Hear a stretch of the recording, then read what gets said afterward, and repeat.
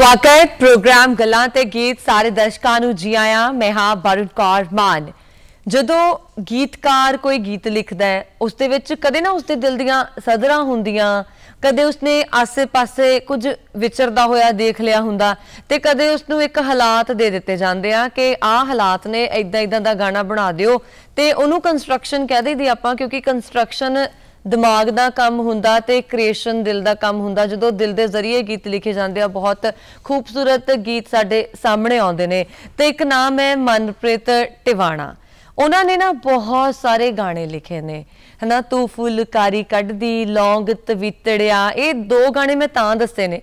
ਕਿ ਸਭ ਤੋਂ ਜ਼ਿਆਦਾ ਗਾਣੇ ਇਹ ਵਾਲੇ ਗਾਇਕ ਨੇ ਮਨਪ੍ਰੀਤ ਟਿਵਾਣਾ ਜੀ ਦੇ ਗਾਏ ਨੇ।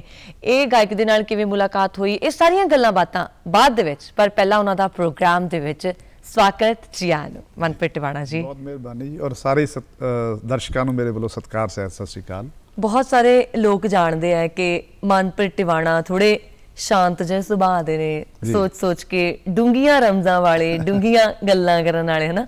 ਉਹ ਜਿਹੜੀਆਂ ਗੱਲਾਂ ਨੇ ਗੀਤਾਂ ਦੇ ਜ਼ਰੀਏ ਬਾਹਰ ਆਉਂਦੀਆਂ। ਤੁਸੀਂ ਗੀਤਕਾਰ ਹੈਗੇ ਹੋ ਸਾਰੀ ਗੱਲਬਾਤ ਆਪਾਂ ਗੀਤਕਾਰੀ ਤੇ ਕਰਨੀ ਆ।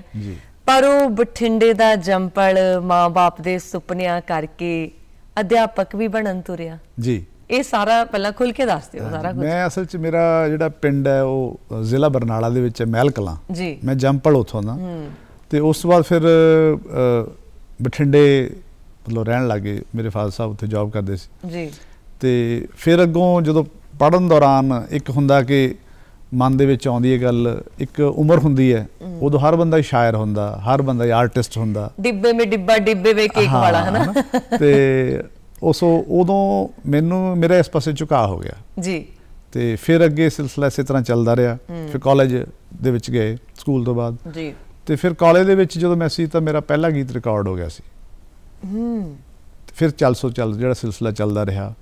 ਤੇ ਜਿਹੜਾ ਤੁਸੀਂ ਅਧਿਆਪਕ ਬਣਨ ਦੇ ਸੁਪਨੇ ਦੀ ਗੱਲ ਕੀਤੀ ਉਹ ਮੇਰੀ ਮਾਂ ਦਾ ਸੁਪਨਾ ਸੀ ਕਿ ਮੈਂ ਉਸ ਖੇਤਰ ਜਾਵਾਂ ਅਧਿਆਪਕ ਮਤਲਬ ਬਣਾ। ਜੀ।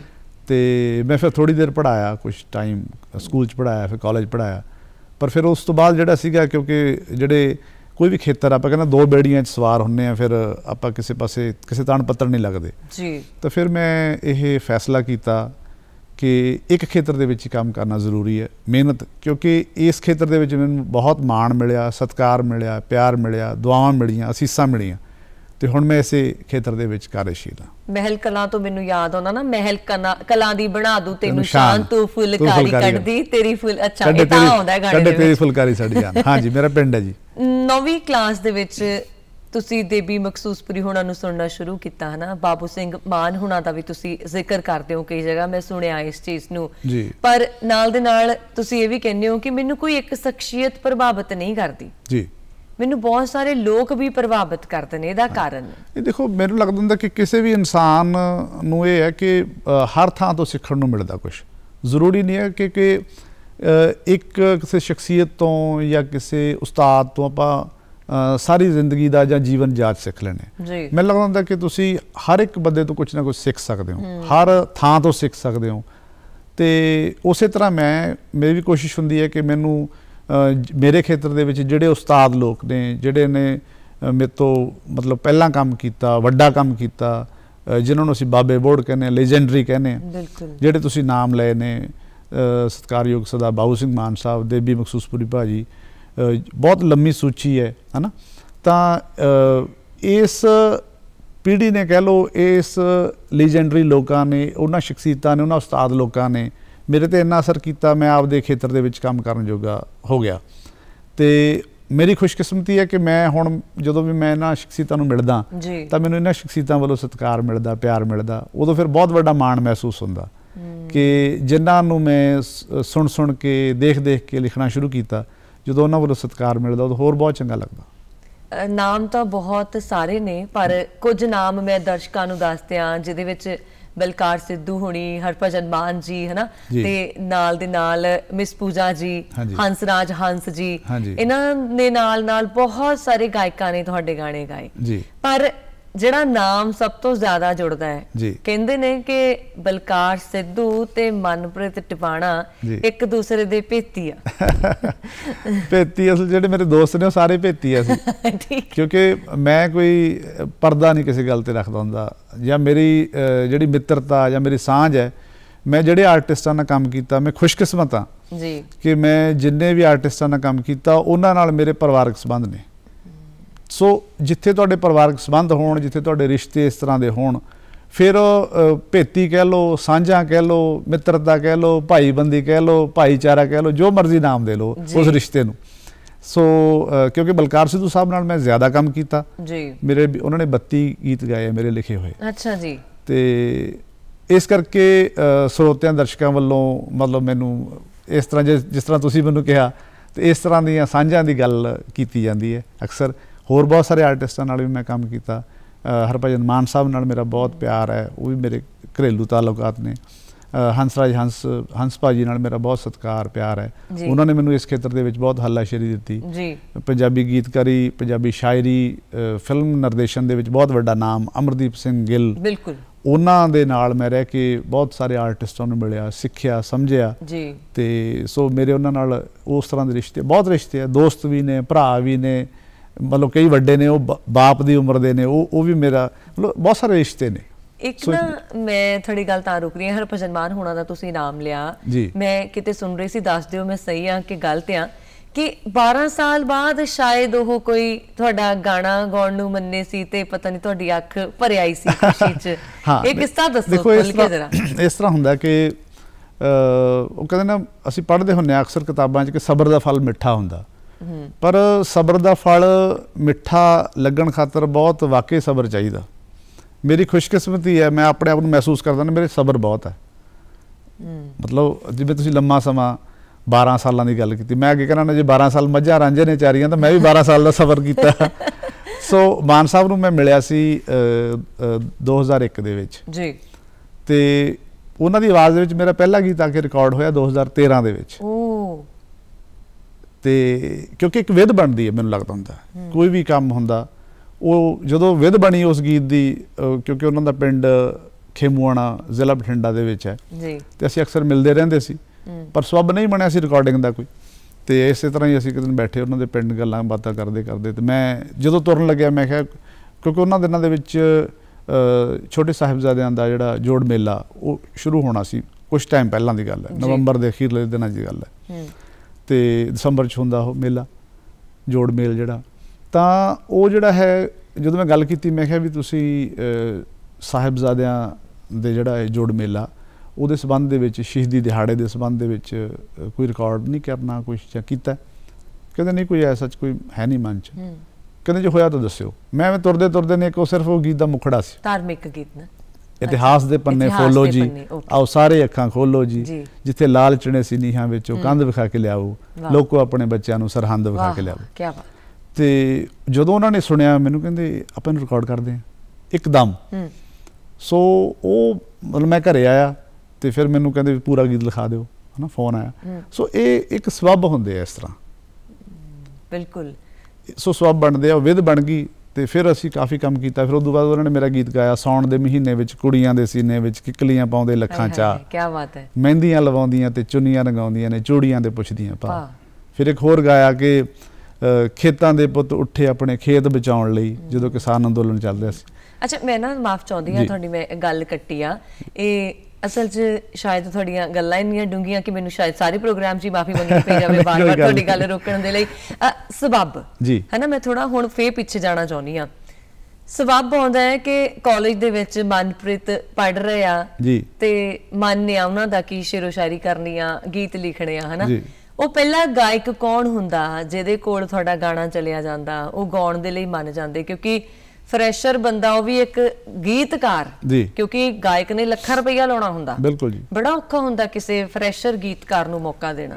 ਲੱਖਾਂ ਰੁਪਈਆ ਲਾਉਣ ਵਾਲਾ ਦੌਰ ਬਾਅਦ ਸ਼ੁਰੂ ਹੋਇਆ। ਅੱਛਾ ਜੀ। ਮੇਰੀ ਖੁਸ਼ਕਿਸਮਤੀ ਹੈ ਕਿ ਮੈਂ ਉਸ ਦੌਰ 'ਚ ਸੀ ਜਦੋਂ ਕਲਾ ਜਿਹੜੇ ਕਲਾਕਾਰ ਸੀ ਸਹੀ ਮਾਇਨੇ ਦੇ ਵਿੱਚ ਕਲਾ ਦਾ ਮੁੱਲ ਸੀ। ਜੀ। ਜ਼ਿਆਦਾਤਰ ਉਹ ਸੀਗੇ। ਮਿਹਨਤੀ ਸਿੱਖੇ ਹੋਏ ਲੋਕ ਇਸ ਖੇਤਰ 'ਚ ਆਉਂਦੇ ਸੀ। ਜੀ। ਤੇ ਉਦੋਂ ਪੈਸੇ ਦਾ ਉਹਨਾਂ ਬੋਲਬਾਲਾ ਨਹੀਂ ਸੀ ਕਲਾਕਾਰਾਂ ਦੇ ਵਿੱਚ ਜਿੰਨਾ ਅੱਜ ਕੱਲ ਜੋ ਆਪਾਂ ਮਾਹੌਲ ਦੇਖਦੇ ਹਾਂ। ਜੀ। ਤੇ ਸੋ ਵਰਿੰਦਰ ਸਿੱਧੂ ਸੀ ਉਸ ਮੁੰਡੇ ਦਾ ਨਾਂ। ਹੂੰ। ਤੇ ਮੈਂ ਜਿਵੇਂ ਨਵਾਂ ਤਾਂ ਉਹ ਮੁੰਡਾ ਵੀ ਨਵਾਂ ਸਾਡੀ ਇਕੱਠਿਆਂ ਦੀ ਸ਼ੁਰੂਆਤ ਹੋਈ। ਤੇ ਉਹਨਾਂ ਨੇ ਮੇਰਾ ਪਹਿਲਾ ਗੀਤ ਗਾਇਆ ਸੀ। ਫਿਰ ਉਹਨਾਂ ਤੋਂ ਬਾਅਦ ਸਾਡੇ ਇਲਾਕੇ ਦੇ ਵਿੱਚ ਜਿਹੜੇ ਗੋਰਾ ਚੱਕ ਵਾਲਾ ਸਾਡੇ ਸਤਿਕਾਰਯੋਗ ਵੀਰ ਤੇ ਫਿਰ ਸੂਫੀ ਸਾਹਿਬ ਨੇ ਗਾਇਆ ਹਾਕਮ ਸੂਫੀ ਸਾਹਿਬ ਨੇ।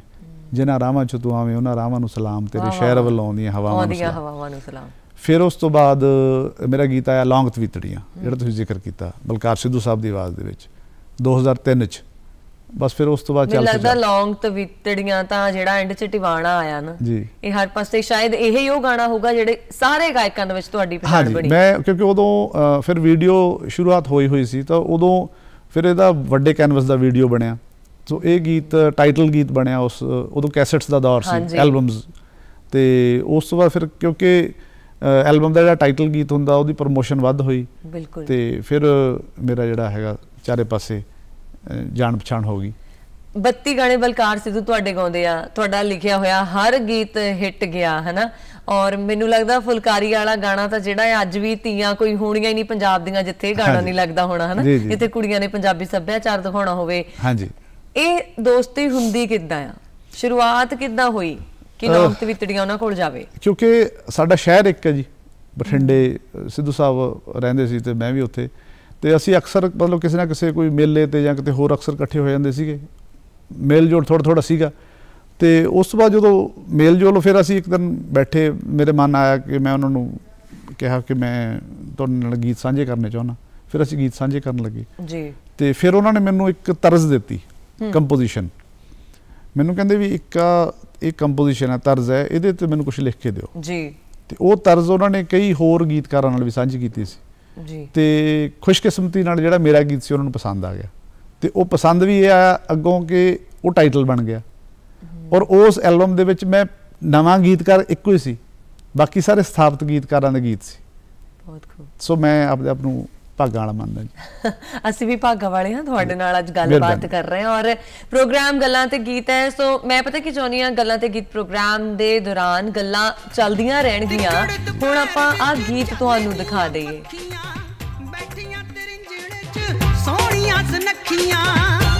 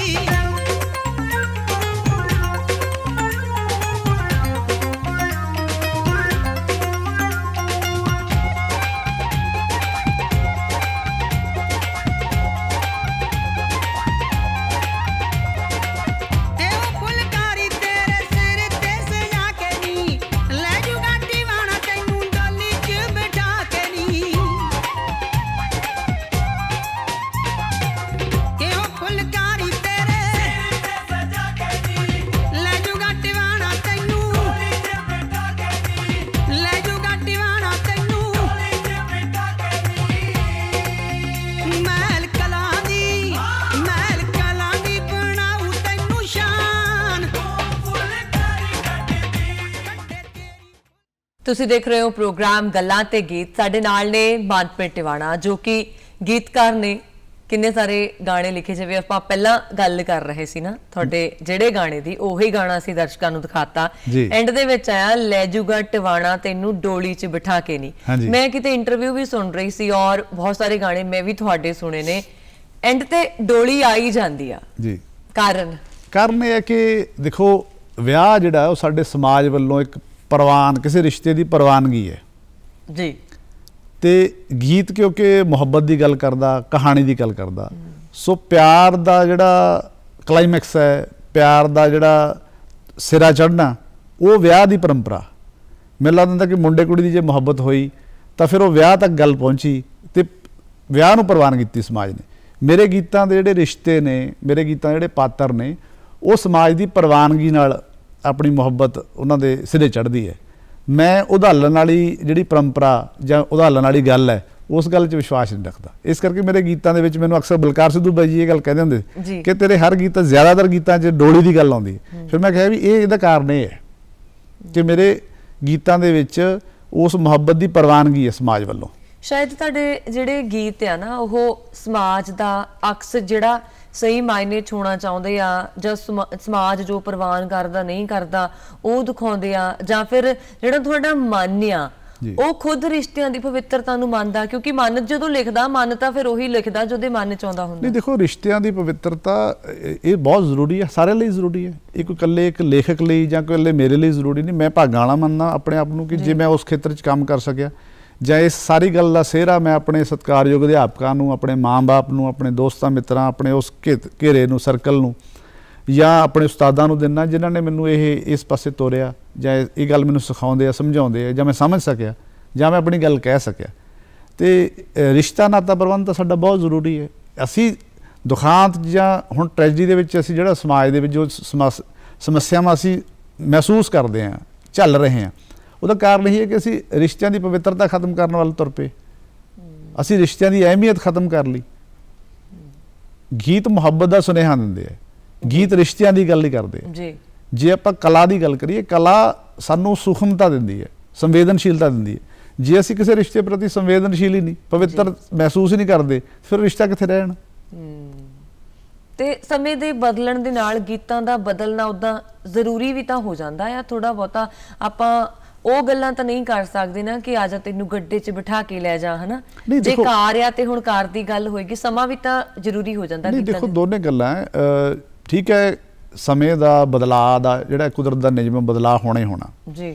ਬਦਲਾਅ ਦੇ ਮੁਤਾਬਕ ਜੋ ਅਸੀਂ ਆਲੇ ਦੁਆਲੇ ਦੇਖਦੇ ਆਂ ਉਹ ਸਾਡੀਆਂ ਫਿਲਮਾਂ 'ਚ ਵੀ ਆਊਗਾ ਸਾਡੇ ਗੀਤਾਂ 'ਚ ਵੀ ਆਊਗਾ ਸਾਡੇ ਪਹਿਰਾਵੇ 'ਚ ਵੀ ਆਊਗਾ ਸਾਡੇ ਖਾਣ ਪੀਣ 'ਚ ਵੀ ਆਊਗਾ।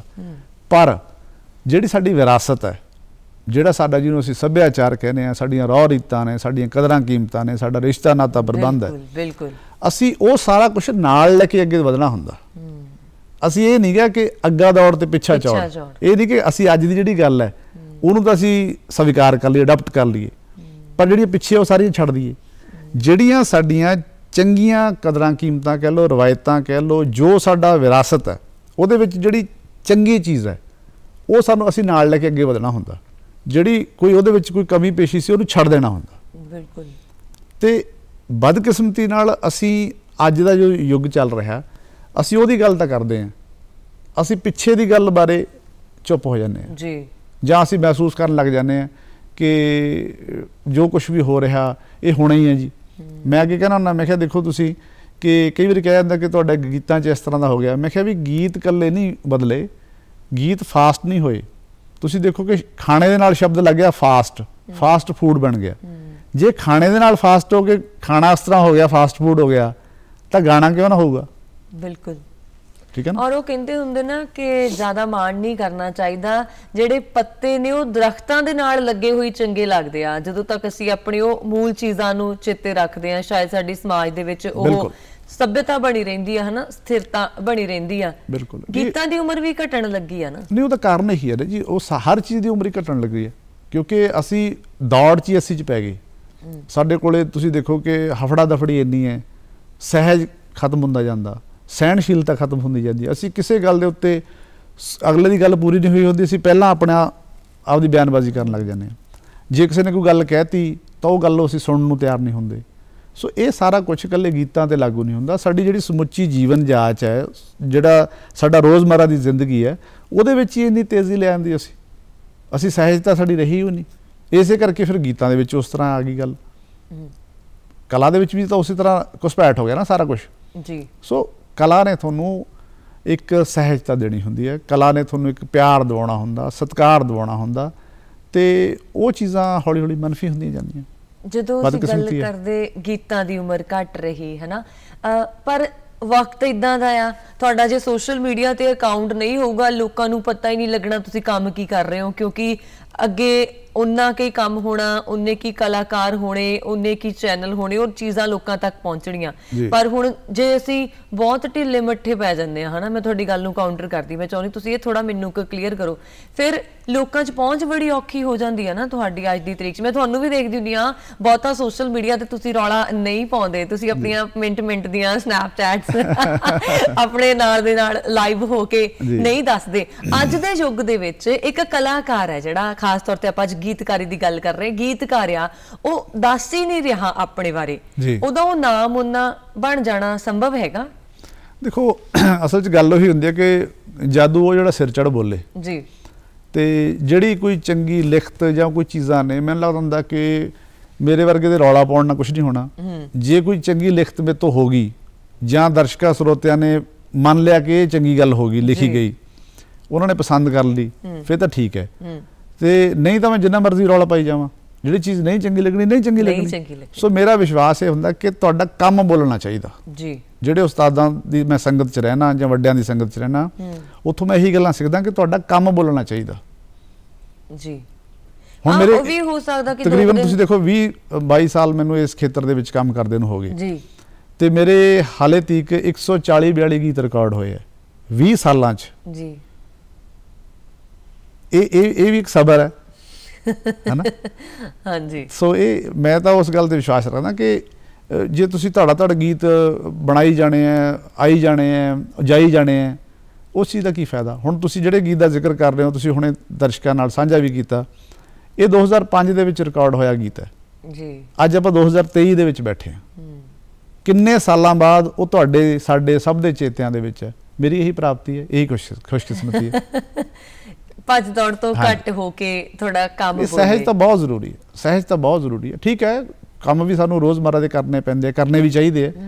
ਤੇ ਅੱਜ ਕੱਲ ਸੋਸ਼ਲ ਮੀਡੀਆ ਦਾ ਦੌਰ ਹੈ ਪਰ ਮੈਨੂੰ ਇਹ ਹੁੰਦਾ ਵੀ ਓਨੀ ਕੁ ਗੱਲ ਕਰੀਏ ਮਤਲਬ ਇੱਕ ਗੀਤ ਹੈ ਮੇਰਾ ਦੂਰਦਰਸ਼ਨ ਤੇ ਹੀ ਆ ਉਹ ਵੀ ਜੱਸੀ ਸੋਲ ਹੋਰਾਂ ਨੇ ਗਾਇਆ ਸੀ ਜੀ। ਕਿ ਉਹ ਕੰਮ ਨਾ ਕਰੀਏ ਜਿਹੜਾ ਸਾਰਿਆਂ ਦੀ ਅੱਖ ਵਿੱਚ ਰੜਕ। ਸਾਰਿਆਂ ਦੀ ਅੱਖ ਵਿੱਚ ਰੜ ਰੜਕ। ਰੜਕਣਾ ਨਹੀਂ ਚਾਹੀਦਾ। ਇਹ ਮੇਰਾ ਸੁਭਾਅ ਹੈ। ਇਹ ਚੀਜ਼ਾਂ ਤੁਹਾਡੀ ਜ਼ਿੰਦਗੀ 'ਚ ਵਾਪਰੀਆਂ ਆ ਸਾਰੀਆਂ ਜਿੱਦਾਂ ਚਰਖੇ ਮਧਾਣੀਆਂ ਇਹ ਥੋੜਾ ਕੋਈ ਤੁਹਾਨੂੰ ਲੱਗਦਾ ਮੈਂ ਲੱਗਦਾ ਕਿ ਐਡੀ ਵੱਡੀ ਉਮਰ ਦਾ? ਨਹੀਂ ਬੱਚਿਆਂ 'ਚ ਦੇਖੀਆਂ ਬਚਪਨ 'ਚ ਦੇਖੀਆਂ ਹੋਣਗੀਆਂ ਵੱਡਿਆਂ ਨੂੰ ਕਰਦੇ ਹੋਏ ਤੇ ਜਾਂ ਫਿਰ ਹੁੰਦਾ ਨਾ ਕਿ ਮਾਂ-ਬਾਪ ਦਾ ਸੁਭਾਅ ਥੋੜਾ ਉਦਾਂ ਦਾ ਹੁੰਦਾ। ਤੁਹਾਡੇ ਫਾਦਰ ਸਾਹਿਬ ਜਾਂ ਮਦਰ ਇਦਾਂ ਦੇ ਹੋਣਗੇ ਜਿਨ੍ਹਾਂ ਨੇ ਕਹਿੰਦੇ ਨਾ ਕਿ ਕਈਆਂ ਨੇ ਨਿਆਣੇ ਤੱਕ ਲਿਆਂਗ ਕੀਤੇ ਹੁੰਦੇ। ਨਹੀਂ ਹਰ ਮਾਂ-ਬਾਪ ਵੀ ਆਪਣੇ ਨਿਆਣਿਆਂ ਦਾ ਦੇਖੋ ਸੁਪਨਾ ਦੇਖਦਾ। ਹਰ ਮਾਂ-ਬਾਪ ਨੂੰ ਬੱਚੇ ਪਿਆਰੇ ਹੁੰਦੇ ਆ ਹਰ ਬੱਚੇ ਨੂੰ ਮਾਂ-ਬਾਪ ਪਿਆਰਾ ਹੁੰਦਾ। ਜੀ। ਮੈਂ ਭਾਗਾਂ ਵਾਲਾ ਕਿ ਮੈਨੂੰ ਪਰਿਵਾਰ ਖਾਸ ਤੌਰ ਤੇ ਮੇਰੇ ਮਾਂ-ਬਾਪ ਮੇਰਾ ਭਰਾ ਮੇਰੀ ਵਾਈਫ ਮੇਰੇ ਬੱਚੇ ਮੇਰੇ ਚਾਚੇ ਮੇਰਾ ਹੋਰ ਪਰਿਵਾਰ ਸਾਰਾ ਜਿਹੜਾ ਅੰਗ ਸਾਕ ਉਹ ਮੈਨੂੰ ਬਹੁਤ ਚੰਗੇ ਮਿਲੇ। ਬਾਕੀ ਗੱਲ ਇਹ ਹੈ ਕਿ ਮੈਂ ਜਿਹੜਾ 1990 ਤੋਂ ਪਹਿਲਾਂ ਦਾ ਪੰਜਾਬ ਸੀ ਨਾ ਉਹ ਬਚਪਨ 'ਚ ਦੇਖਿਆ। ਅੱਛਾ ਜੀ। ਮਤਲਬ ਦੇਖਿਆ ਤਾਂ ਹੋਰਾਂ ਨੇ ਵੀ ਹੈ ਕੋਈ ਇਕੱਲੇ ਮੈਂ ਨਹੀਂ ਵੇਖਿਆ। ਪਰ ਮੈਂ ਇਸ ਖੇਤਰ 'ਚ ਹਾਂ। ਜੀ। ਮੈਨੂੰ ਉਹ ਚੰਗਾ ਲੱਗਦਾ ਬਹੁਤ। ਜਿਹੜਾ ਪੰਜਾਬ ਦਾ ਫੋਕ ਹੈ ਲੋਕ ਧਾਰਾ ਹੈ ਜਿਹਦੇ ਵਿੱਚ ਤੁਸੀਂ ਜ਼ਿਕਰ ਕੀਤਾ। ਸਾਡੇ ਰਵਾਇਤੀ ਲੋਕ ਗੀਤ ਨੇ ਸਾਡੇ ਬਾਬਿਆਂ ਦੀਆਂ ਬੋਲੀਆਂ ਪੁਰਾਣੇ ਮਲਵਈ ਗਿੱਧਾ ਜਾਂ ਸਾਡੇ ਮਾਈਆਂ ਦੇ ਸਾਡੇ ਗਾਉਣ ਨੇ ਔਰਤਾਂ ਦੇ ਲੰਮੇ ਜਿਹੜੇ ਹਿੱਕਾਂ ਵਾਲੇ ਗੀਤ ਨੇ ਜਾਂ ਪਹਿਰਾਵਾ। ਤੇ ਮੈਨੂੰ ਲੱਗਦਾ ਹੁੰਦਾ ਕਿ ਕੱਲੀਆਂ ਉਹ ਚੀਜ਼ਾਂ ਸਿਰਫ ਮਨੋਰੰਜਨ ਦਾ ਸਾਧਨ ਨਹੀਂ ਹੈ। ਉਹ ਬਹੁਤ ਕਮਾਲ ਦੀਆਂ ਉਹਨਾਂ ਦੇ ਵਿੱਚ ਗੱਲਾਂ ਸੀ। ਜੀ। ਮੈਂ ਕਿਤੇ ਬੋਲੀ ਪੜ੍ਹੀ। ਇੱਕ ਵਾਰੀ ਮਤਲਬ ਮੈਨੂੰ ਇੱਕ ਵਾਰੀ ਪੜ੍ਹਨ ਸਾਰੀ ਯਾਦ ਹੋ ਗਈ। ਪਰ ਤੁਸੀਂ ਗੱਲ ਦੇਖੋ ਉਹਦੇ ਵਿੱਚ ਕਿੱਡੀ ਵੱਡੀ ਹੈ। ਮਤਲਬ ਇੱਕ ਵਾਰੀ ਫੋਕਲੋਰ ਚ ਅਸੀਂ ਕਿਵੇਂ ਸਿੱਖਦੇ ਹਾਂ। ਉਹ ਉਹਦੇ ਵਿੱਚ ਲਿਖਿਆ ਸੀ ਕਿ ਜੇਠ ਜਠਾਣੀ ਮੰਜੇ ਤੇ ਬਹਿੰਦੇ ਤੈਨੂੰ ਦਿੰਦੇ ਪੀੜੀ। ਜੇਠ ਜਠਾਣੀ ਮੰਜੇ ਤੇ ਬਹਿੰਦੇ ਤੈਨੂੰ ਦਿੰਦੇ ਪੀੜੀ। ਵੇ ਅੰਨਿਆ ਅਕਲ ਦੇ ਤੈਨੂੰ ਸਮਝਦੇ ਸੀ ਜੀ। ਵਾਹ। ਹੁਣ ਇੱਕ ਵੱਡਾ ਭਰਾ ਹੈ ਸਾਂਝਾ ਪਰਿਵਾਰ ਹੈ ਉਹਦੇ ਵਿੱਚ ਛੋਟਾ ਭਰਾ ਹੈ ਇੱਕ ਹੈਨਾ ਉਹਦੀ ਭਰਜਾਈ ਹੈ। ਤੁਸੀਂ ਦੇਖੋ ਕਿੰਨਾ ਕੁਝ ਸਾਡਾ ਇਸ ਇੱਕ ਬੋਲੀ ਦੇ ਵਿੱਚ ਸੰਭਲਿਆ ਹੋਇਆ ਬਿਲਕੁਲ। ਸੰਭਾਲਿਆ ਹੋਇਆ ਇਹ ਸਾਡਾ ਫੋਕਲੋਰ ਹੈ। ਉਹ ਸੀਗੀ ਨਾ ਇਦਾਂ ਇੱਕ ਬੋਲੀ ਆ ਤੇ ਜੇਠ ਤੇ ਜਟਾਣੀ ਜਿਹੜੇ ਦੋਨੇ ਦੁੱਧ ਪੀਂਦੇ ਆ ਮੈਂ ਲੈਂਦੀਆਂ ਬੈੜਕਾਂ ਵੇ ਸਿੰਘਾ ਲਿਆ ਬੱਕਰੀ ਦੁੱਧ ਰਿੜਕਾਂਗੇ। ਹਾਂ। ਹੁਣ ਦੇਖੋ ਕਿੰਨੀ ਰੋਮਾਂਟਿਕ ਗੱਲ ਹੈ ਅਕਸਰ ਕਿਹਾ ਜਾਂਦਾ ਕਈ ਵਾਰੀ ਕਿ ਉਰਦੂ ਦੇ ਵਿੱਚ ਬਹੁਤ ਰੋਮਾਂਟਿਕ ਗੱਲ ਹੈ ਮੈਂ ਕਹਿੰਦਾ ਨਾ ਕਿ ਤੇਰੀ ਤੈਨੂੰ ਤਾਪ ਚੜੇ ਮੈਂ ਹੂੰਗਾ ਤੇਰੀ ਮੇਰੀ ਇੱਕ ਜਿੱਦੜੀ। ਕਿੱਡੀ ਵੱਡੀ ਗੱਲ ਹੈ ਹੁਣ ਪਾਣੀ ਦੇ ਬੁਲਬੁਲਿਆ ਕੀ ਮੁਨਿਆਦਾਂ ਤੇਰੀਆਂ? ਹੁਣ ਇੱਕ ਲਾਈਨ ਹੈ ਇਹ। ਇਹ ਲੋਕ ਧਾਰਾ ਫੋਕ ਦੀ ਇੱਕ ਲਾਈਨ ਹੈ ਇੱਕ ਲਾਈਨ ਦੇ ਵਿੱਚ ਦੇਖੋ ਜ਼ਿੰਦਗੀ ਦਾ ਕਿੱਡਾ ਵੱਡਾ ਫਲਸਫਾ। ਬਿਲਕੁਲ। ਇਸ ਕਰਕੇ ਸਾਡਾ ਜਿਹੜਾ ਮੈਂ ਪਹਿਲਾਂ ਵੀ ਕਿਹਾ ਕਿ ਜਿਹੜਾ ਸਾਡਾ ਸਾਹਿਤ ਹੈ ਸਾਡਾ ਵਿਰਸਾ ਸਾਡੀ ਵਿਰਾਸਤ ਹੈ ਸਾਡਾ ਇਤਿਹਾਸ ਹੈ ਉਹਦੇ ਵਿੱਚ ਬੇਸ਼ੁਮਾਰ ਉਹ ਗੱਲਾਂ ਨੇ ਉਹ ਚੀਜ਼ਾਂ ਨੇ ਜਿਹੜੀਆਂ ਤੋਂ ਸਾਨੂੰ ਸਮਝਣ ਦੀ ਸਿੱਖਣ ਦੀ ਲੋੜ ਹੈ ਜਿਹੜੀਆਂ ਕਿ ਅਸੀਂ ਮੂੰਹ ਮੋੜਦੇ ਜਾਂਦੇ ਹਾਂ। ਬਿਲਕੁਲ। ਮੇਰਾ ਨਾ ਹੱਲੇ ਵੀ ਜਿਹੜਾ ਮੂੰਹ ਹੈ ਨਾ ਉਹ ਰੇੜਕਾਂ ਵਾਲੀ ਗੱਲ ਤੇ ਰੜ ਰੜਕ ਰਹੀ ਹੈ ਮੇਰੇ ਕਿ ਪ੍ਰੋਗਰਾਮ ਨਾ ਦੇ ਵਿੱਚ ਉਹ ਆਪਾਂ ਗੀਤ ਦਿਖਾ ਦਈਏ ਆਪਣੇ ਦਰਸ਼ਕਾਂ ਨੂੰ ਜੱਸੀ ਸੋਲ ਹੋਣਾ ਦਾ। ਬਹੁਤ। ਖੂਬਸੂਰਤ ਜਿਹਾ ਇੱਕ ਗੀਤ ਹੈ। ਤੁਹਾਡੀ ਹੀ ਕਲਮ ਹੈ। ਆਓ ਦੇਖਦੇ ਹਾਂ ਇਹ ਗੀਤ। ਬਹੁਤ ਮਿਹਰਬਾਨੀ।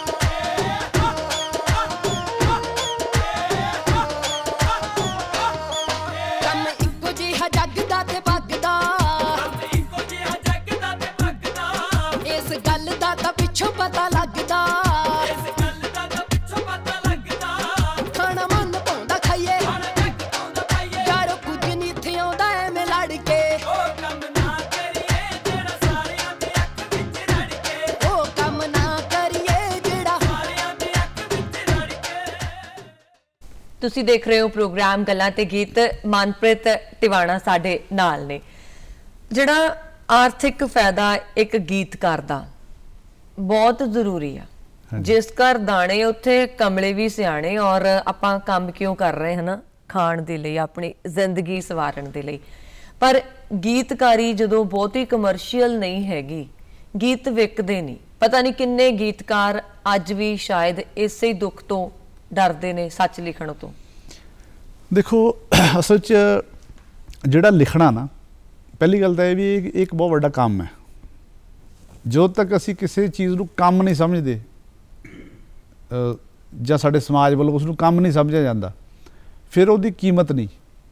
ਜਿਵੇਂ ਕਈ ਵਾਰੀ ਕਈ ਸੱਜਣ ਪਹਿਲਾਂ ਪਹਿਲਾਂ ਮੈਨੂੰ ਪੁੱਛ ਲੈਂਦੇ ਸੀ, ਜਾਂ ਹੁਣ ਵੀ ਕਦੇ ਕਦੇ ਕੋਈ ਕੋਈ ਟਾਵਾਂ ਟੱਲਾ ਪੁੱਛ ਲੈਂਦਾ। ਉਹ ਮੈਨੂੰ ਕਹਿੰਦੇ ਵੀ ਤੁਸੀਂ ਲਿਖਦੇ ਹੋ, ਮੈਂ ਹਾਂਜੀ। ਕਹਿੰਦੇ ਵੀ ਇਹ ਤੁਹਾਡਾ ਸ਼ੌਕ ਹੋਇਆ, ਤੁਸੀਂ ਕੰਮ ਕੀ ਕਰਦੇ ਹੋ? ਮਤਲਬ ਦੇਖੋ ਵੀ ਅਸੀਂ ਇਸ ਗੱਲ ਨੂੰ ਕੰਮ ਨਹੀਂ ਸਮਝਦੇ। ਜਦੋਂ ਕਿ ਲਿਖਣਾ ਇੱਕ ਬਹੁਤ ਵੱਡਾ ਗੁਣ, ਹੁਨਰ ਤਾਂ ਪ੍ਰਮਾਤਮਾ ਨੇ ਦਿੱਤਾ ਹੀ ਹੈ, ਲੇਕਿਨ ਇਹ ਬਹੁਤ ਵੱਡਾ ਕੰਮ ਹੈ। ਆਪਣੇ ਆਪ 'ਚ ਜਿਹਨੂੰ ਪੰਜਾਬੀ ਜਿਹਨੂੰ ਆਪਾਂ ਅੱਜ ਕੱਲ੍ਹ ਦੀ ਭਾਸ਼ਾ 'ਚ ਕਹਿ ਦਈਏ, ਇਹ ਫੁੱਲ ਟਾਈਮ ਜੌਬ ਹੈ। ਮੈਂ ਸਾਰੇ ਕੰਮ ਛੱਡ ਕੇ ਇਹ ਕੰਮ ਕਰਨ ਲੱਗਿਆ ਹਾਂ ਸੋ ਅਸੀਂ ਜਦੋਂ ਲੇਖਕ ਨੂੰ ਜਾਂ ਕਿਸੇ ਵੀ ਖੇਤਰ ਦੇ ਵਿੱਚ, ਜਿਵੇਂ ਆਪਾਂ ਗੀਤਕਾਰੀ ਦੀ ਗੱਲ ਤੁਸੀਂ ਕੀਤੀ ਹੈ ਤਾਂ ਮੈਨੂੰ ਲੱਗਦਾ ਹੁੰਦਾ ਕਿ ਜਦੋਂ ਤੱਕ ਅਸੀਂ ਉਹਨੂੰ ਕੰਮ ਨਹੀਂ ਮਹਿਸੂਸ ਕਰਦੇ ਜੇ ਦੇਖੋ 뮤직 ਡਾਇਰੈਕਟਰ ਕਿਉਂਕਿ 뮤직 ਬਣਾ ਕੇ ਦਿੰਦੇ ਆ ਸਾਨੂੰ ਲੱਗਦਾ ਕਿ ਇਹ ਤੇ ਇਨਵੈਸਟਮੈਂਟ ਹੋਈ ਹੈ ਜੀ ਵੀਡੀਓ ਡਾਇਰੈਕਟਰ ਨੇ ਵੀਡੀਓ ਬਣਾ ਕੇ ਦਿੱਤਾ ਸਾਨੂੰ ਲੱਗਦਾ ਕਿ ਇਹ ਤੇ ਇਨਵੈਸਟਮੈਂਟ ਹੋਈ ਹੈ ਅਸੀਂ ਜਿਹੜੀ ਕ੍ਰੀਏਟੀਵਿਟੀ ਹੈ ਜਿਹੜੀ ਇੱਕ ਤੁਸੀਂ ਤੁਹਾਡੇ ਅੰਦਰੋਂ ਚੀਜ਼ ਫੁੱਟਣੀ ਹੈ ਜਦੋਂ ਅਸੀਂ ਉਹਨੂੰ ਕੰਮ ਹੀ ਨਹੀਂ ਮੰਨਦੇ ਅਸੀਂ ਕਹਿੰਦੇ ਵੀ ਇਹਦਾ ਕੀ ਹੈ ਚਾਰ ਲਾਈਨਾਂ ਜੋੜਤੀਆਂ ਹੋਣਗੀਆਂ ਨੇ ਇਹ ਬਣਾ ਕੇ ਗੀਤ ਦੇਤਾ। ਹਾਂ, ਹੋਏ ਹੋਏ ਕਹਿਣਾ, ਇਹਨੇ ਕਿਹੜਾ- ਚਾਰ ਵਾਰੀ ਤਾਂ ਵਿੱਚ ਇਹਨੇ ਕਿਹੜਾ ਮਿਹਨਤ। ਕੀਤੀ ਹੈ ਕੋਈ। ਜਦੋਂ ਕਿ ਇਹ ਦੇਖੋ ਕਿ 20 25 ਸਾਲ ਦਾ ਇੱਕ ਬੰਦੇ ਦਾ ਆਪਦਾ ਕੈਰੀਅਰ ਹੁੰਦਾ ਜੋ ਉਸ ਸਮੇਂ ਦੇ ਵਿੱਚ ਮੈਂ ਕਹਿੰਦਾ ਵੀ ਜੇ ਗੱਡਾ ਕਿਤਾਬਾਂ ਦਾ ਪੜਿਆ ਹੁੰਦਾ ਤੇ ਅੱਜ ਨੂੰ ਬੰਦਾ ਡੀਸੀ ਲੱਗਿਆ ਹੁੰਦਾ। ਠੀਕ ਹੈ ਨਾ ਜੇ ਆਪਦੇ ਉਸ ਲਾਈਨ ਤੇ ਚੱਲੇ ਹੁੰਦੇ। ਸੋ ਮੈਨੂੰ ਲੱਗਦਾ ਹੁੰਦਾ ਕਿ ਜਦੋਂ ਤੱਕ ਸਾਡੇ ਸਮਾਜ ਵੱਲੋਂ ਸਾਡੇ ਆਰਟਿਸਟਾਂ ਵੱਲੋਂ ਇਸ ਨੂੰ ਕੰਮ ਨਹੀਂ ਸਮਝਿਆ ਜਾਊਗਾ ਔਰ ਇਹਨੂੰ ਪ੍ਰੋਡਕਟਿਵ ਕੰਮ ਨਹੀਂ ਸਮਝਿਆ ਜਾਊਗਾ ਕਿ ਇਹਦੇ ਉੱਤੇ ਵੀ ਮਿਹਨਤ ਲੱਗੀ ਹੈ ਇਹਦੇ ਉੱਤੇ ਵੀ ਜ਼ਿਹਨ ਲੱਗਿਆ ਇਹਦੇ ਉੱਤੇ ਵੀ ਇੱਕ ਥਾਟ ਹੈ ਇੱਕ ਪ੍ਰੋਸੈਸ ਹੈ ਪੂਰਾ। ਜਦੋਂ ਤੱਕ ਅਸੀਂ ਇਸ ਗੱਲ ਨੂੰ ਸਮਝਦੇ ਨਹੀਂ ਉਦੋਂ ਤੱਕ ਉਸ ਚੀਜ਼ ਦੀ ਕਦਰ ਨਹੀਂ ਹੈ। ਇਹ ਦੁਖਾਂਤ ਹੈ। ਦੂਸਰਾ ਹੈ ਕਿ ਸਾਡੀ ਜਿਹੜੀ ਇੰਡਸਟਰੀ ਹੈ ਉਹ ਇੰਨੀ ਜਿਹੜੀ ਹੈ ਉਹ ਪ੍ਰੋਫੈਸ਼ਨਲ ਨਹੀਂ ਹੋਈ ਜਿਹੜੀ ਹਿੰਦੀ ਫਿਲਮ ਇੰਡਸਟਰੀ ਹੈ ਬੰਬੇ ਦੀ ਜਾਂ ਹੋਰ ਉੱਥੇ ਹਰ ਚੀਜ਼ ਦਾ ਤੁਹਾਨੂੰ ਪੈਸਾ ਮਿਲਦਾ। ਤਾਂ ਖੜਨ ਦਾ ਵੀ ਦਿੰਦੇ। ਅਸੀਂ ਇੱਥੇ ਇਸ ਕਰਕੇ ਉਹਨੇ ਪ੍ਰੋਫੈਸ਼ਨਲ ਨਹੀਂ ਹੋਏ। ਬਾਕੀ ਇਹ ਵੀ ਕੁਝ ਸੱਜਣਾ ਨੂੰ ਮਿਲ ਵੀ ਜਾਂਦੇ ਕੁਝ ਸੱਜਣਾ ਨੂੰ ਨਹੀਂ ਵੀ ਮਿਲਦੇ। ਜਦੋਂ ਕਿ ਮਿਲਣੇ ਚਾਹੀਦੇ ਆ। ਹਰੇਕ ਗਾਇਕ ਨੂੰ ਮੈਂ ਇਹੀ ਅਪੀਲ ਕਰੂੰਗਾ ਕਿ ਆਪਣੇ ਗੀਤਕਾਰਾਂ ਦਾ ਜ਼ਰੂਰ ਖਿਆਲ ਰੱਖੋ। ਉਹਨਾਂ ਨੂੰ ਆਰਥਿਕ ਮਦਦ ਵੀ ਕਰੋ। ਉਹਨਾਂ ਦਾ ਜਿੰਨੇ ਵੱਧ ਤੋਂ ਵੱਧ ਉਹਨਾਂ ਦੀ ਮਦਦ ਹੋ ਸਕਦੀ ਹੈ। ਇੱਕ ਟੀਮ ਹੈ। ਜੀ। ਗੀਤਕਾਰ ਹੈ ਗਾਇਕ ਹੈ 뮤직 ਡਾਇਰੈਕਟਰ ਹੈ ਵੀਡੀਓ ਡਾਇਰੈਕਟਰ ਹੈ ਕੰਪਨੀ ਵਾਲੇ ਹੈ। ਇੱਕ ਪੂਰਾ ਪਰਿਵਾਰ ਹੈ। ਪਰਿਵਾਰ ਦੇ ਵਿੱਚ ਜਿਵੇਂ ਆਪਾਂ ਜੀਆਂ ਦਾ ਖਿਆਲ ਰੱਖਦੇ ਹਾਂ ਜੇ ਆਪਾਂ ਜੀਆਂ ਦਾ ਖਿਆਲ ਰੱਖਦੇ ਹਾਂ ਤਾਂ ਪਰਿਵਾਰ ਖੁਸ਼ਹਾਲ ਰਹਿੰਦਾ। ਜੇ ਆਪਾਂ ਕਿਸੇ ਜੀ ਦੀ ਮਦਦ ਨਹੀਂ ਕਰਦੇ ਤਾਂ ਉਹ ਕਮਜ਼ੋਰ ਰਹਿ ਜਾਂਦਾ। ਸੋ ਇਹੀ ਹੈ ਹੋਣਾ ਚਾਹੀਦਾ। ਮੈਂ ਨਾ ਕਈ ਵਾਰੀ ਸੁਣਦੀ ਹੁੰਦੀ ਆ ਜਦੋਂ ਗਾਣਾ ਵਧੀਆ ਹੋ ਗਿਆ ਹਨਾ? ਹਾਂਜੀ। ਆਮ ਤੌਰ ਤੇ ਜਿਹੜੇ ਆਮ ਜਨ ਕਈਆਂ ਦੇ ਨਾਲ ਬਹਿਣ ਦਾ ਮੌਕਾ ਮਿਲਦਾ ਉਹ ਕਹਿਣਗੇ ਕਿ ਆ ਗਾਣਾ ਗਾਇਆ ਵੀ ਗਾ ਕੇ ਕਮਾਲ ਕਰਤੀ। ਜੀ। ਜੇ ਗਾਣਾ ਮਤਲਬ ਨਹੀਂ ਲੱਗਾ ਉਹਨਾਂ ਨੂੰ ਗਾਣੇ ਦਾ ਐ ਐ ਹੀ ਗਾਣਾ ਲੱਗਿਆ ਗਾਣਾ ਲਿਖਣ ਵਾਲੇ ਨੇ ਦੇਖੋ ਤਾਂ ਸਹੀ ਕੀ ਲਿਖਿਆ ਲਿਖਤਾ ਸੋਚਦਾ ਦਿੰਦਾ ਇਹ ਵੀ ਸੋਚ ਕੇ ਗਾ ਲੈਂਦਾ ਨਾ। ਜੀ, ਜੀ। ਜਦੋਂ ਵਧੀਆ ਗਾਣਾ ਲਿਖਿਆ ਉਦੋਂ ਰਾਈਟਰ ਘੱਟ ਹਾਈਲਾਈਟ ਹੁੰਦਾ। ਇੱਕ ਗੀਤ ਆ ਜਿਹੜਾ ਉਹ ਲੇਖਕ ਦੀ ਮਿਹਨਤ ਹੈ ਕਿ ਗਾਇਕ ਦੀ? ਨਹੀਂ ਦੇਖੋ ਸਾਰਿਆਂ ਦੀ ਮਿਹਨਤ ਹੈ। ਸਭ ਤੋਂ ਪਹਿਲੀ ਮਿਹਨਤ ਹੈ ਉਹ ਗੀਤਕਾਰ ਦੀ। ਜਿਹੜੀ ਕਿ ਸਭ ਤੋਂ ਵੱਧ ਮਿਹਨਤ ਹੈ। ਜੀ। ਉਸ ਤੋਂ ਬਾਅਦ ਫਿਰ ਉਹਦੀ ਕੰਪੋਜੀਸ਼ਨ ਬਣਨੀ ਹੈ ਫਿਰ ਉਹ ਤੈਅ ਹੋਣਾ ਕਿ ਕਿਹਨਾਂ ਨੇ ਗਾਉਣਾ ਫਿਰ ਉਹਦਾ 뮤직 ਬਣਨਾ ਫਿਰ ਉਹਦਾ ਵੀਡੀਓ ਬਣਨਾ ਫਿਰ ਉਹ ਕੰਪਨੀ ਨੇ ਰਿਲੀਜ਼ ਕਰਨਾ ਫਿਰ ਉਹ ਸਰੋਤਿਆਂ ਦਰਸ਼ਕਾਂ ਤੱਕ ਜਾਂਦਾ। ਸੋ ਸਭ ਤੋਂ ਜਿਹੜੀ ਜ਼ਮੀਨ ਹੈ ਉਹ ਗੀਤਕਾਰੀ ਹੈ। ਉਸ ਤੋਂ ਬਾਅਦ ਬਾਕੀ ਉਸ ਜ਼ਮੀਨ ਦੇ ਉੱਤੇ ਫਸਲਾਂ ਨੇ ਜਿਹੜੀਆਂ ਅੱਗੇ ਅੱਗੇ ਕਿਵੇਂ ਕਿਵੇਂ ਕਿਵੇਂ ਕਿਵੇਂ ਜੋ ਜੋ ਹੋਣੀਆਂ ਉਹ ਉਹ ਬਾਅਦ ਦਾ ਕੰਮ ਹੈ। ਬਿਲਕੁਲ। ਤੇ ਫਿਲਮਾਂ ਨਹੀਂ ਲਿਖਣ ਦਾ ਸੋਚਦੇ ਤੁਸੀਂ? ਨਹੀਂ ਮੈਂ ਫਿਲਮਾਂ ਨਹੀਂ ਲਿਖੀਆਂ ਮੈਂ ਫਿਲਮਾਂ ਦੇ ਗੀਤ ਲਿਖੇ ਹੈ। ਮੈਂ ਕਿਉਂਕਿ ਹਰ ਉਹ ਕਹਿੰਦੇ ਨਾ ਕਊਆ ਚਲਾ ਹੰਸ ਕੀ ਚਾਲ ਆਪਣੀ ਭੁੱਲ ਗਿਆ। ਮੈਨੂੰ ਲੱਗਦਾ ਹੁੰਦਾ ਕਿ ਪਰਮਾਤਮਾ ਤੁਹਾਨੂੰ ਹੁਨਰ ਦਿੰਦਾ ਗੁਰ ਦਿੰਦਾ ਪਰ ਉਹ ਸਾਰਿਆਂ ਨੂੰ ਸਾਰੇ ਕੰਮ ਕਰਨ ਦਾ ਹੁਨਰ ਨਹੀਂ ਦਿੰਦਾ। ਜੀ। ਡਿਊਟੀਆਂ ਵੰਡੀਆਂ ਹੋਈਆਂ। ਤੇ ਮੈਨੂੰ ਲੱਗਦਾ ਹੁੰਦਾ ਕਿ ਮੈਂ ਜੇ ਗੀਤਕਾਰੀ ਦੇ ਉੱਤੇ ਕੇਂਦਰਿਤ ਹੋਵਾਂ ਫੋਕਸ ਕਰਾਂ ਤਾਂ ਜ਼ਿਆਦਾ ਬਿਹਤਰ ਹੈ। ਮੈਂ ਉਹਦੇ ਮੈਂ ਆਪਣੀ ਗੱਲ ਗੀਤ 'ਚ ਜ਼ਿਆਦਾ ਵਧੀਆ ਕਹਿ ਜਾਂਦਾ ਮੈਨੂੰ ਲੱਗਦਾ ਹੁੰਦਾ। ਕਦੇ ਦਿਲ ਚ ਆਉਂਦਾ ਕਿ ਵੀ ਬਹੁਤ ਔਖਾ ਕੰਮ ਫੜ ਲਿਆ। ਜਿੱਦਾਂ ਤੁਹਾਡੀਆਂ ਗੱਲਾਂ ਤੋਂ ਮੈਂ ਸੁਣ ਰਹੀ ਹਾਂ ਨਾ ਕਿ ਮੈਂ ਉਦਾਂ ਨਹੀਂ ਲਿਖਦਾ ਕਿ 10 ਮਿੰਟ ਦਿੱਤੇ ਕਿਸੇ ਨੇ ਪੈਸਾ ਕੀਆ ਗਾਣਾ ਲਿਖੋ ਤਾਂ ਲਓ। ਤੁਸੀਂ ਮਿਹਨਤ ਕਰਦੇ ਹੋ ਗਾਣੇ ਤੇ ਕੰਮ ਕਰਦੇ ਹੋਣੀ ਹੋ। ਚਾਹੀਦੀ ਸਾਰੇ ਦੇਖੋ ਮੈਂ ਇਕੱਲਾ ਨਹੀਂ ਕਰਦਾ। ਜਿਹੜੇ ਆਪਾਂ ਜਿੰਨੇ ਉਸਤਾਦ ਲੋਕ ਨੇ ਜਿਹੜੇ ਉਹਨਾਂ ਨੇ ਮਿਹਨਤਾਂ ਕੀਤੀਆਂ ਹੁਣ ਤੁਸੀਂ ਦੇਖੋ ਕਿਸੇ ਨੂੰ 20 ਸਾਲ ਕਿਸੇ ਨੂੰ 30 ਸਾਲ ਕਿਸੇ ਨੂੰ 40 ਸਾਲ 50 ਸਾਲ ਤੱਕ 60 ਸਾਲ ਤੱਕ ਵੀ ਹੋ ਗਏ ਇਸ ਖੇਤਰ ਦੇ ਵਿੱਚ ਸਰਗਰਮ ਨੇ ਜਿਹੜੇ ਗੀਤਕਾਰ ਨੇ ਉਸਤਾਦ ਲੋਕ ਨੇ। ਬਿਲਕੁਲ। ਉਹ ਅੱਜ ਵੀ ਉਸੇ ਗੱਲ ਤੇ ਪਹਿਰਾ ਦਿੰਦੇ ਆ। ਅੱਜ ਵੀ ਉਹ ਪੜ੍ਹਦੇ ਆ ਸਮਝਦੇ ਆ। ਤੇ ਅਸੀਂ ਉਹਨਾਂ ਦੀ ਸੰਗਤ ਮਾਣਦੇ ਆ ਕਦੇ ਦਿਲ ਚ ਆਉਂਦਾ ਕਿ ਨਹੀਂ, ਅਧਿਆਪਕ ਹੀ ਠੀਕ ਸੀਗਾ? ਨਹੀਂ ਨਹੀਂ ਦੇਖੋ ਅਧਿਆਪਕ ਦਾ ਖੇਤਰ ਇੱਕ ਬਹੁਤ ਵੱਡਾ ਉਹ ਇੱਕ ਬਹੁਤ ਮਾਣ ਵਾਲਾ ਸਤਿਕਾਰ ਵਾਲਾ ਹੈ ਹੀ ਹੈ।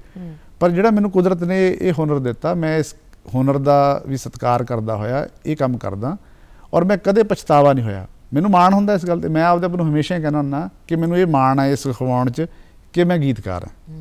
ਬਹੁਤ ਮੈਂ ਗੀਤ ਲੇਖਕ ਹਾਂ। ਬਹੁਤ ਮੈਨੂੰ ਮਾਣ ਹੈ ਇਸ ਗੱਲ ਦਾ। ਕਿਉਂਕਿ ਇਸ ਮਾਣ ਕਰਕੇ ਤਾਂ ਮੈਨੂੰ ਸਤਿਕਾਰ ਮਿਲਿਆ। ਅਸੀਸਾਂ ਮਿਲਦੀਆਂ ਮੈਂ ਜਦੋਂ ਗੀਤ ਰਿਲੀਜ਼ ਹੁੰਦੇ ਆ ਮੈਂ ਗੀਤਾਂ ਦਾ ਤੁਹਾਨੂੰ ਜ਼ਿਕਰ ਕੀਤਾ। ਮੈਨੂੰ ਅੱਜ ਕੱਲ ਕਿਉਂਕਿ ਸੋਸ਼ਲ ਮੀਡੀਆ ਦਾ ਦੌਰ ਆ ਤੁਹਾਨੂੰ ਨਾਲ ਦੀ ਨਾਲ ਉੱਥੇ ਆਉਂਦੇ ਕੰਪਲੀਮੈਂਟਸ ਬਿਲਕੁਲ, ਉੱਥੇ। ਲਿਖਿਆ ਹੁੰਦਾ ਕਮੈਂਟ ਦੀ ਆਪਸ਼ਨ ਹੁੰਦੀ ਹੈ ਵੈਸੇ। ਕੰਪਲੀਮੈਂਟ ਦੀ ਹੋਣੀ ਚਾਹੀਦੀ ਆਪਸ਼ਨ ਹੈਨਾ ਤੇ ਮੈਨੂੰ ਤਾਂ ਕੰਪਲੀਮੈਂਟ ਜ਼ਿਆਦਾ ਆਉਂਦੇ ਕਮੈਂਟ ਤਾਂ ਆਉਂਦੇ ਨਹੀਂਗੇ। ਤੇ ਮੈਨੂੰ ਤਾਂ ਐਸੀਆਂ ਐਸੀਆਂ ਗੱਲਾਂ ਲਿਖਦੇ ਆ ਸਰੋਤੇ ਦਰਸ਼ਕ ਜਦੋਂ ਗੀਤ ਰਿਲੀਜ਼ ਹੁੰਦੇ ਆ। ਮਤਲਬ ਮੇਰਾ ਕਈ ਵਾਰੀ ਮੇਰੀਆਂ ਅੱਖਾਂ ਭਰ ਆਉਂਦੀਆਂ ਕਿ ਮੈਨੂੰ ਇੰਨਾ ਪਿਆਰ ਮਿਲਦਾ। ਜਦੋਂ ਗੀਤ ਰਿਲੀਜ਼ ਹੁੰਦੇ ਆ ਉਹਨਾਂ 'ਚ ਅਨੇਕਾਂ ਮੈਸੇਜ ਐਸੇ ਹੁੰਦੇ ਆ ਜਿੰਨਾ ਜਿਹੜੇ ਮੇਰੇ ਮੈਨੂੰ ਅਸੀਸਾਂ ਹੀ ਦੇਈ ਜਾਂਦੇ ਆ। ਬਹੁਤ ਖੂਬ। ਸੋ ਮੈਂ ਭਾਗਾਂ ਵਾਲਾ ਆਪਦੇ ਆਪ ਨੂੰ ਮੰਨਦਾ। ਮੈਂ ਨਾ ਅਕਸਰ ਦੇਖਦੀ ਹੁੰਦੀ ਆ ਕਿ ਅਸੀਂ ਕਿਤੇ ਬਾਹਰ ਜਾਂਦੇ ਆ ਹਾਂਜੀ। ਅਸੀਂ ਉੱਥੇ ਜਾ ਕੇ ਨਾ ਘਰੇ ਸਾਡੇ ਕੋਲ ਚੁੱਲ੍ਹਾ ਬਾਲਣ ਦਾ ਚਲੋ ਟਾਈਮ ਨਹੀਂ ਹੈਗਾ, ਜ਼ਿੰਦਗੀ ਇੰਨੀ ਫਾਸਟ ਹੈ ਹਨਾ? ਪਰ ਕਈ ਲੋਕ ਸੰਗ ਦੇ ਮਾਰੇ ਕਿ ਉਹ ਇਹ ਕਹਿਣਗੇ ਇਹਨਾਂ ਦੇ ਘਰ ਹੱਲੇ ਵੀ ਮਤਲਬ ਇਦਾਂ ਦੇ ਪੁਰਾਣੇ ਚੌਂਕੇ ਆ, ਇਹਨਾਂ ਦੇ ਘਰ ਪੁਰਾਣੀਆਂ ਪੇਟੀਆਂ ਆ ਹੱਲੇ ਹੱਲੇ ਵੀ ਇਹ ਰੂਹ ਵਾਲੀਆਂ ਰਜਾਈਆਂ। ਤੇ ਉਹੀ ਅਸੀਂ ਬਾਹਰ ਮਿਊਜ਼ੀਅਮ 'ਚ ਜਾ ਕੇ ਉਹਨਾਂ ਨਾਲ ਫੋਟੋਆਂ ਕਰਾਉਨੇ ਆ। ਉੱਥੇ ਜਾ ਕੇ ਹਨਾ ਇਦਾਂ ਟੌਰ ਮਾਰਦੇ ਆ ਕਿ ਘਰੇ ਸਾਨੂੰ ਸੰਗ ਆਉਂਦੀ ਆ ਉਹਨਾਂ ਮੰਜਿਆਂ ਤੇ ਬਾਣਦਿਆਂ ਤੇ ਬਹਿੰਦਿਆਂ ਤੇ। ਮਿਊਜ਼ੀਅਮ 'ਚ ਜਾ ਕੇ ਅਸੀਂ ਉਹਨਾਂ ਨਾਲ ਫੋਟੋਆਂ ਕਰਾਉਨੇ ਆ। ਉਹੀ ਗੱਲ ਕਿ ਅਸੀਂ ਆਪ ਕਹਿੰਦੇ ਗਾਣੇ ਚੰਗੇ ਵੀ ਹੋਣ ਤੇ ਆਪ ਅਸੀਂ ਉਹ ਸੁਣਨੇ ਵੀ ਨਹੀਂ ਹਨਾ। ਇਹ ਚੀਜ਼ਾਂ ਵੀ ਤਾਂ ਹੋ ਗਈਆਂ ਸਾਡੀ ਜ਼ਿੰਦਗੀ 'ਚ। ਹਾਂ ਦੇਖੋ ਉਹੀ ਮੈਂ ਕਹਿੰਦਾ ਕਿ ਜੀਵਨ ਦੀ ਜਿਹੜੀ ਸ਼ੈਲੀ ਹੈ ਉਹ ਬਦਲ ਗਈ। ਅਸੀਂ ਲਾਈਫ ਸਟਾਈਲ ਬਦਲਾ ਲਿਆ ਨਾ। ਅਸੀਂ ਦੇਖੋ ਕਿ ਜਿਵੇਂ ਸਾਡੇ ਮਾਲਵੇ ਚ ਤਾਂ ਨਾ ਕੋਈ ਜਿਵੇਂ ਆਪਾਂ ਗੈਸਟ ਆਉਂਦਾ ਕਹਿੰਦੇ ਆ ਮਹਿਮਾਨ ਆਉਂਦਾ। ਸਾਡੇ ਮਾਲਵੇ ਚ ਅਸੀਂ ਕਹਿੰਦੇ ਕਿ ਪ੍ਰਾਹੁਣਾ ਪ੍ਰਾਹੁਣਾ ਆਉਂਦਾ ਅੱਗੇ ਜਦੋਂ ਘਰੇ ਪ੍ਰਾਹੁਣਾ ਆਉਂਦਾ ਤੇ ਘਰ ਦੀਆਂ ਸਵਾਣੀਆਂ ਨੂੰ ਔਰਤਾਂ ਨੂੰ ਇਹ ਚਾਹ ਹੁੰਦਾ ਸੀ ਕਿ ਅਸੀਂ ਹੱਥ ਦੀ ਚੀਜ਼ ਬਣਾਈਏ ਖਵਾਈਏ ਸੇਵਾ ਕਰੀਏ। ਅੱਗੇ ਘਰੇ ਬੰਦੇ ਨੂੰ ਚਾਹ ਚੜਦਾ ਸੀ ਤੇ ਘਰ ਦੀ ਚੀਜ਼ ਬਣੀ ਖਵਾ ਕੇ ਚਾਹ ਚੜਦਾ ਸੀ। ਖੁਸ਼ ਹੁੰਦੇ ਸੀ। ਜੀ। ਹੁਣ ਜਦੋਂ ਕੋਈ ਖਾਸ ਤੌਰ ਤੇ ਸ਼ਹਿਰੀ ਖੇਤਰ ਦੇ ਵਿੱਚ ਜੇ ਆਪਾਂ ਗੱਲ ਕਰੀਏ ਤਾਂ ਜ਼ਿਆਦਾਤਰ ਜਿਹੜੇ ਲੋਕ ਜਦੋਂ ਸਾਡੇ ਘਰੇ ਕੋਈ ਮਹਿਮਾਨ ਆਉਂਦਾ ਅਸੀਂ ਉਹਨੂੰ ਬਾਹਰ ਖਾਣਾ ਖਵਾਉਣ ਲੈ ਤੁਰਦੇ ਹਾਂ। ਹੂੰ। ਤੇ ਜਦੋਂ ਅਸੀਂ ਬਾਹਰ ਜਾ ਕੇ ਖਾਣਾ ਖਵਾਉਨੇ ਆ ਜਿਹੜੇ ਜਿਹੜੇ ਤੁਸੀਂ ਜ਼ਿਕਰ ਕੀਤਾ ਉੱਥੇ ਪਿੱਤਲ ਦੇ ਭਾਂਡੇ ਰੱਖੇ ਆ ਮੰਜੇ ਰੱਖੇ ਹਨਾ? ਅੱਛਾ ਸਭ ਤੋਂ ਖੂਬਸੂਰਤ ਦੇਖੋ ਗੱਲ ਉੱਥੇ ਲਿਖਿਆ ਹੁੰਦਾ ਘਰ ਵਰਗਾ ਖਾਣਾ। ਘਰੋਂ ਅਸੀਂ ਉਹਨੂੰ ਭਜਾ ਕੇ ਲੈ ਕੇ ਆਏ ਉਸ ਮਹਿਮਾਨ ਨੂੰ ਵੀ ਤੈਨੂੰ ਬਾਹਰੋਂ ਖਾਣਾ ਖਵਾ ਕੇ ਲਿਆਉਂਦੇ ਹਾਂ। ਉੱਥੇ ਲਿਖਿਆ ਵੀ ਘਰ ਵਰਗਾ ਖਾਣਾ। ਅਸੀਂ ਘਰ ਦਾ ਖਾਣਾ ਛੱਡ ਕੇ ਬਾਹਰ ਖਾਣਾ ਖਾਂਦੇ ਤੇ ਪਰ ਘਰ ਵਰਗਾ ਖਾਂਦੇ ਆ ਜਿਹੜਾ ਕਿ ਘਰ ਵਰਗਾ ਵੀ ਨਹੀਂ ਹੁੰਦਾ। ਸੋ ਇਹ ਸਾਨੂੰ ਸੋਚਣ ਦੀ ਲੋੜ ਹੈ ਕਿ ਅਸੀਂ ਕਿੱਧਰ ਤੁਰ ਪਏ। ਪਰ ਆਉਣਾ ਅਸੀਂ ਉੱਥੇ ਹੀ ਹੈ। ਪਿੱਤਲ ਦੇ ਭਾਂਡਿਆਂ ਤੇ ਆ ਗਏ। ਅੱਜ ਕੱਲ ਅਸੀਂ ਦੇਖ ਲਓ ਤੁਸੀਂ ਨੈਚੁਰੋਪੈਥੀ ਵੱਲ ਨੂੰ ਵੱਧ ਰਹੇ ਹਾਂ। ਕੁਦਰਤੀ ਖੇਤੀ ਵੱਲ ਨੂੰ ਦੌੜ ਰਹੇ ਹਾਂ। ਸੋ ਦੇਖੋ ਬਜ਼ੁਰਗਾਂ ਨੇ ਜਿਹੜੀਆਂ ਗੱਲਾਂ ਬਣਾਈਆਂ ਹਾਲਾਂਕਿ ਮੇਰੀ ਤਾਂ ਬਹੁਤ ਉਮਰ ਛੋਟੀ ਹੈ ਪਰ ਬਜ਼ੁਰਗਾਂ ਤੋਂ ਇਹ ਸੁਣਦੇ ਆ ਸਮਝਦੇ ਆ ਸਿੱਖਦੇ ਆ ਤੇ ਉਹਨਾਂ ਦੀਆਂ ਗੱਲਾਂ ਬਣਾਈਆਂ ਕੋਈ ਇੱਕ ਦੋ ਦਿਨਾਂ 'ਚ ਬੈਠ ਕੇ ਨਹੀਂ ਉਹਨਾਂ ਨੇ ਬਣਾਈਆਂ ਸੀ। ਉਹ ਕੋਈ ਮਤਲਬ ਸੀ ਉਹ ਰਵਾਇਤਾਂ ਜਿਹੜੀਆਂ ਚੱਲੀਆਂ ਆਉਂਦੀਆਂ ਨੇ ਚਾਹੇ ਉਹ ਪਹਿਰਾਵੇ ਦੀਆਂ ਨੇ ਚਾਹੇ ਉਹ ਖਾਣੇ ਦੀਆਂ ਨੇ ਚਾਹੇ ਉਹ ਆਦਤਾਂ ਦੀਆਂ ਨੇ ਚਾਹੇ ਉਹ ਰਿਸ਼ਤਿਆਂ ਦੀਆਂ ਨੇ ਉਹਨਾਂ ਦਾ ਕੋਈ ਮਤਲਬ ਸੀ। ਬਿਲਕੁਲ ਉਹੀ ਅਸੀਂ ਗੱਲ ਉੱਥੇ ਹੀ। ਜਾਣਾ ਜਾਣਾ ਉੱਥੇ ਪੈਣਾ ਬੈਕ ਟੂ ਬੇਸਿਕਸ ਜਿਵੇਂ ਕਹਿੰਦੇ ਆ। ਬਿਲਕੁਲ ਕੱਚ ਦੇ ਭਾਂਡਿਆਂ ਤੋਂ ਅਸੀਂ ਹੌਲੀ-ਹੌਲੀ ਜਿਹੜੇ ਸਾਡੇ ਦੇਸੀ ਭਾਂਡੇ ਆ ਉਹਨਾਂ ਵੱਲ ਆ ਰਹੇ ਆ ਇੱਕ ਦੌੜ ਆਉਂਦੀ ਹੁੰਦੀ ਆ ਜਿਹਦੇ ਵਿੱਚ ਨਾ ਸਾਨੂੰ ਭਾਜੜ ਪੈਂਦੀ ਆ। ਸ਼ਾਇਦ ਸਾਨੂੰ ਲੱਗਦਾ ਕਿ ਅਸੀਂ ਇਸ ਆਧੁਨਿਕਤਾ 'ਚ ਬੜਾ ਕੁਝ ਹਾਸਲ ਕਰ ਰਹੇ ਆ ਪਰ ਫਿਰ ਇੱਕ ਵਕਤ ਆਉਣ ਲੱਗਦਾ ਜਦੋਂ ਸਾਨੂੰ ਪਤਾ ਲੱਗਦਾ ਕਿ ਅਸੀਂ ਗਵਾ ਕੀ ਰਹੇ ਆ ਅਸੀਂ ਉਹ ਗਵਾਚੀ ਹੋਈ ਚੀਜ਼ ਨੂੰ ਦੁਬਾਰਾ ਪਾਉਣ ਦੀ ਕੋਸ਼ਿਸ਼ ਕਰਦੇ ਆ ਸੋ ਖੂਬਸੂਰਤ ਗੀਤ ਅਸੀਂ ਦੁਬਾਰਾ ਪਾਉਨੇ ਆ ਲਗਾਤਾਰ ਚੱਲ ਵੀ ਰਹੇ ਬਹੁਤ ਸਾਰੇ ਖੂਬਸੂਰਤ ਗੀਤ ਤੁਹਾਡੇ ਨਾਲ ਵੀ ਵਧੀਆ ਗੱਲਾਂ ਹੋਈਆਂ। ਪ੍ਰੋਗਰਾਮ ਦਾ ਵਕਤ ਇੱਥੇ ਖਤਮ ਹੁੰਦਾ ਆ ਤੁਹਾਡਾ ਡੀਡੀ ਪੰਜਾਬੀ ਦੇ ਵਿਹੜੇ ਚ ਦੇ ਲਈ ਬਹੁਤ-ਬਹੁਤ ਧੰਨਵਾਦ। ਤੁਹਾਡਾ ਬਹੁਤ-ਬਹੁਤ ਧੰਨਵਾਦ ਔਰ ਸਾਰੇ ਹੀ ਦਰਸ਼ਕਾਂ ਸਰੋਤਿਆਂ ਦਾ ਬਹੁਤ ਧੰਨਵਾਦ। ਤੇ ਮੈਂ ਬਹੁਤ ਧੰਨਵਾਦੀ ਹਾਂ ਜਲੰਧਰ ਦੂਰਦਰਸ਼ਨ ਦੀ ਸਮੁੱਚੀ ਟੀਮ ਦਾ ਜਿਨ੍ਹਾਂ ਨੇ ਮੈਨੂੰ ਇੱਥੇ ਬੁਲਾ ਕੇ ਮਾਣ ਦਿੱਤਾ ਸਤਿਕਾਰ ਦਿੱਤਾ ਤੇ ਆਪ ਸਭ ਦੇ ਰੂਬਰੂ ਹੋਣ ਦਾ ਮੌਕਾ ਦਿੱਤਾ। ਫਿਰ ਮਿਲਾਂਗੇ ਕਦੇ। ਬਹੁਤ ਬਹੁਤ ਮਿਹਰਬਾਨੀ। ਬਹੁਤ ਸ਼ੁਕਰੀਆ ਜੀ। ਪ੍ਰੋਗਰਾਮ ਤੇ ਗੱਲਾਂ ਤੇ ਗੀਤੇ ਵਿੱਚ ਅੱਜ ਤੇ ਲੈਣਾ ਹੀ ਧੰਨਵਾਦ। ਮੁੰਡਿਆਂ ਕੁਵਾਰਿਆਂ ਨੂੰ ਮਾਰ ਸੁੱਟਿਆ ਮੁੰਡਿਆਂ parque